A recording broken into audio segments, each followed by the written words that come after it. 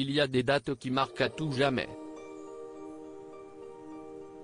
Le 14 février 2022 restera dans le cœur de Gabriela Papadaki et Guillaume Cizeron comme le jour qui a changé leur carrière.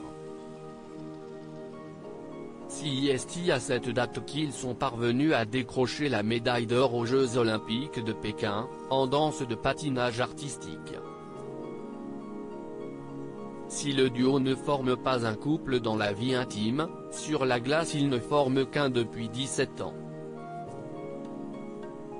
Et si est donc ensemble qu'ils ont été chercher ce titre qu'ils convoitaient depuis tant d'années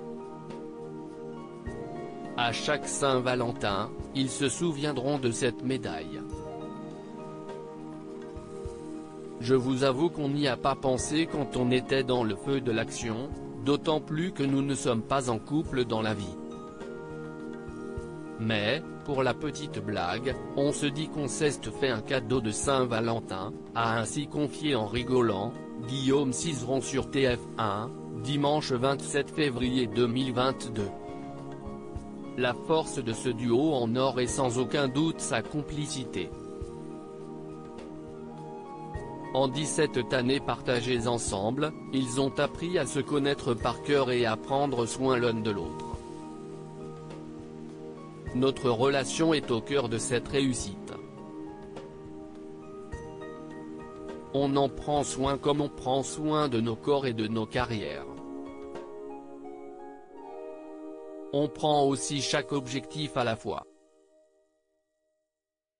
Et nous voilà, 17 ans plus tard, a de son côté expliqué Gabriela Papadaki.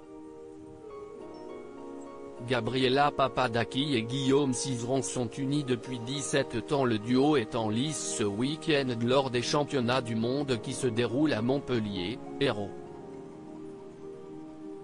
Comme il n'y avait pas de public à Pékin à cause de la Covid-19, ils n'ont pas eu l'occasion de fêter leur médaille avec leurs supporters. Loading Widget